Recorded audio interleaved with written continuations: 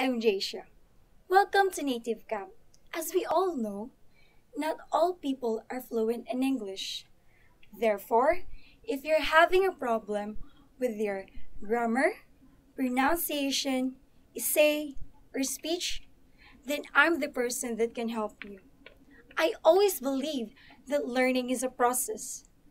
I love helping and giving out ideas on how to polish your English. I'd like to invite you to come in my class, and I'm so thrilled to have you in my class. See you!